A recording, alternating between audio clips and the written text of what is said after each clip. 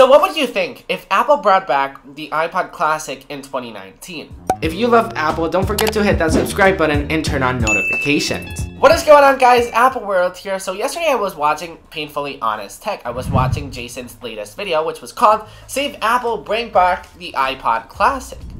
Before watching the video, I was like, what is this guy talking about? Why would Apple bring back the iPod Classic. And after watching his video, which I will of course link down below, and you guys should definitely go subscribe to him. Amazing creator, amazing personality, and amazing person. Definitely go check him out. He changed my mind about the iPod Classic. And to be honest, I would actually think, and I think I would actually purchase, if Apple were to release an iPod Classic in 2019, I think I would actually purchase one.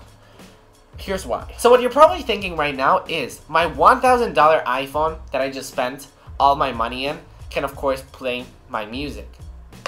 And you're totally right. Your iPhone is amazing for streaming music because you have, you've got all the unlimited music you want, um, but of course you have to be online.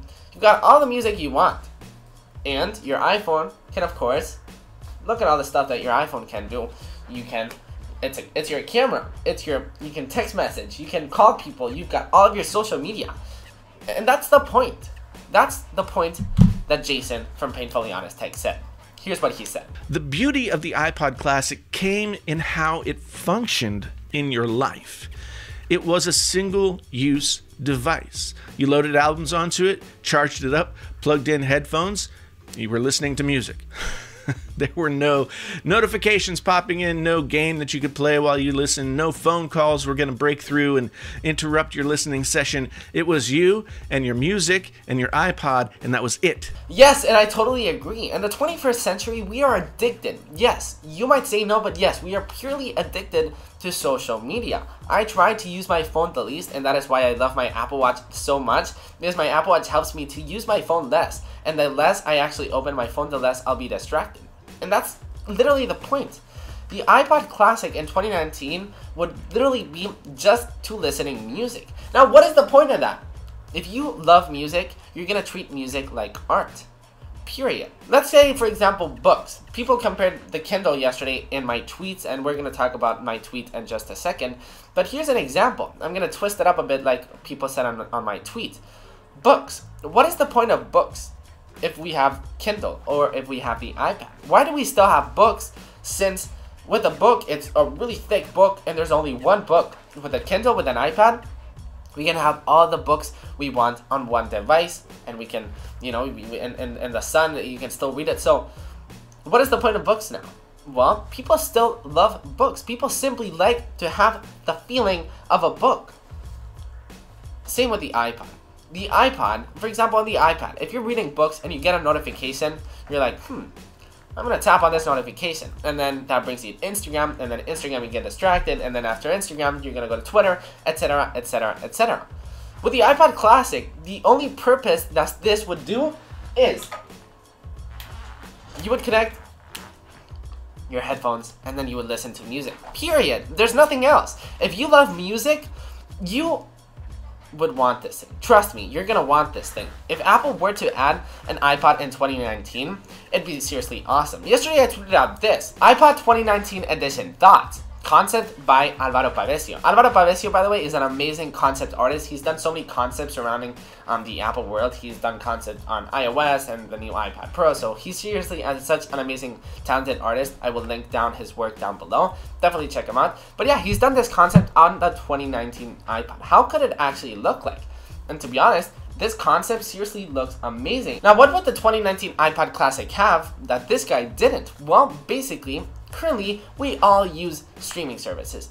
At least I think the 80%, the 90% of the population, we all use Spotify, we all use Apple Music, which by the way, let me know in the comments down below, what do you guys use, Apple Music or Spotify? We all use streaming services, right? So the iPod Classic in 2019 would have the ability to stream music whenever we want, and we could actually download it offline. So this guy, for example, has 160 gigabytes of purely music. We can have all our music library on one device. Your iPhone can't do that because on your iPhone we've got a bunch of apps, music, games, etc, etc, etc. This guy would seriously be only for music, which is amazing. It's like a Kindle. No one says the Kindle Paperwhite should exist because Amazon has four tablets. The iPod Touch is not an iPod. It's a baby tablet. The iPod's sole purpose was to listen to music, not so with the touch.